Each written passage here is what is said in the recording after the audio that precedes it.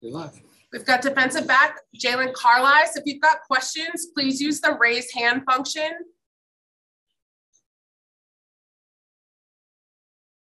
Natalie Jones.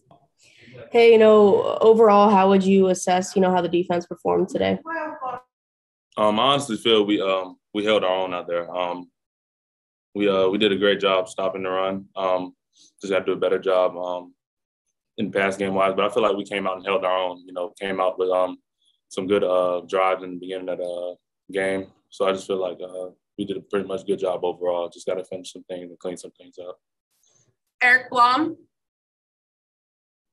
JC, you obviously now have four picks on the year. Just is that something you can practice of? Okay, this is where the quarterback is going to throw the ball. You know, just those kinds of tendencies, types things, where you can be in better positions to get more of those for the team. Um, we have a lot of drills uh, that we do throughout the week. Um, a lot of tips and overthrow drills. So you know, just being um, in different places at, from my position um, is pretty much what we do throughout practice. Just different drills that kind of help me. You know, when the ball's tipping there, just keep running to the ball, and then somehow I find it. So you know, just keep doing those drills throughout the week that keeps helping me. Dave Matter. JC, you guys tried for the onside kick to start the second half. Did, did you feel like at halftime that you could steal some momentum and, and maybe you know make this game competitive? What was the feel like coming out of locker? Oh uh, yeah, we had a good uh, coach. Drink came in, um, you know, gave us some good motivation coming out into the second half, and um, getting that onside. You know, we thought we got it. That was um, that would have been a huge um, breaking point in the game. I feel like for us, just you know, have momentum going into the rest of the game. Emily Liker. JC, with some younger guys on the ball on the ball on the offensive side, I mean, did the defense feel any pressure, added pressure to step up this game at all? Um, not more than need to step up, you know, just more encouraged, you know, because we know um, we know our situation heading into the week. So, you know, just more encouraging our teammates, you know, our younger teammates who are going to be in spots, you know, they've never been in before. Just encouraging them and, you know, giving them the strength they need to just go out there and play. You know, they play football all their lives. They can keep going right here. There's nothing different. Just keep playing. So I feel like encouragement was uh, the big thing heading into this week with the young players.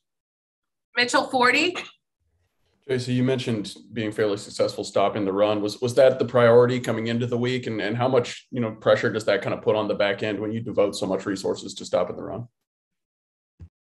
Um, you know, heading in um, every week, you know, we try to stop the run and pass. You know, it's not really um, you know, just one sided.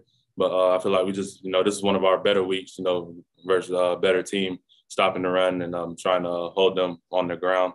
But, you know, passing game wise, just like I said earlier, you know, we just got to keep emphasizing that, just going over that. And I'm pretty sure we'll be good for the rest of the season. Eric Blum. JC, I know you guys have already played nine games this season. What do you feel is left on the table for the team in the final three games? Um, our goal is to make a bowl game. You know, we can't um, we can't unfortunately we can't win the SEC East, but you know we can still make a bowl game. You know we have to uh, get a couple more wins to be bowl eligible, and that's our uh, goal heading into the rest of the season. And a final question from Natalie Jones. You know, Coach Drink mentioned going to a bowl game. I'm curious, you know, what's the what's the mindset like for this team? You know, trying to get there, and kind of what's Coach Drink's message to you guys to really get to that point? Um, finish as a team. You know, uh, you know the season hasn't gone how we wanted it to but just finishing as a, um, a whole team, you know, offense, and defense coming together, cheering each other on, encouragement on the sidelines. I feel like um, that's his biggest thing, you know, for us heading into these last three games, be bowl eligible. And I feel like we can do it, and I feel like we will do it. Thanks, JC. Yes, ma'am.